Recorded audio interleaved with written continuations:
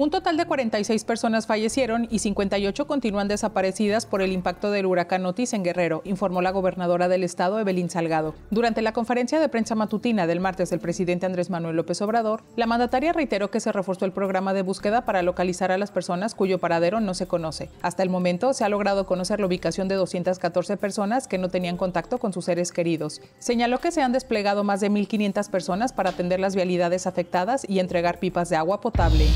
Un grupo de organizaciones encabezado por el Comité de Participación Ciudadana del Sistema Nacional Anticorrupción, el Instituto Nacional de Transparencia, Acceso a la Información y Protección de Datos Personales, la Secretaría Ejecutiva del Sistema Nacional Anticorrupción y Transparencia Mexicana unieron fuerzas para impulsar la transparencia y la rendición de cuentas en los trabajos de reconstrucción que se avecinan en los municipios afectados del huracán Otis en el estado de Guerrero, para así evitar caer en desvíos o corrupción.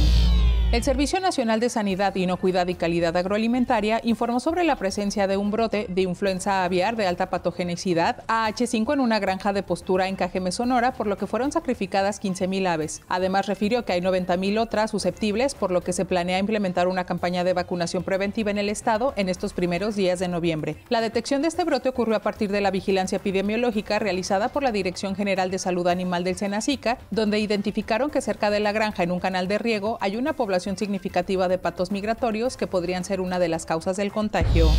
El Servicio Meteorológico Nacional de la Comisión Nacional del Agua pronosticó lluvias extraordinarias en ocho estados del sur-sureste del país provocadas por un frente frío, una masa de aire polar y la tormenta tropical Pilar. Las lluvias serán de intensas a torrenciales y extraordinarias. Habrá viento helado fuerte y oleaje elevado en los estados de Tamaulipas, Veracruz, Tabasco, Campeche, Yucatán, Chiapas, Oaxaca y Quintana Roo. El desplazamiento del frente frío 8 en interacción con la circulación de la tormenta tropical Pilar, cuyo centro se ubica a unos 400 kilómetros de las costas de Chiapas, ocasionará un temporal de lluvias prolongado hasta el jueves.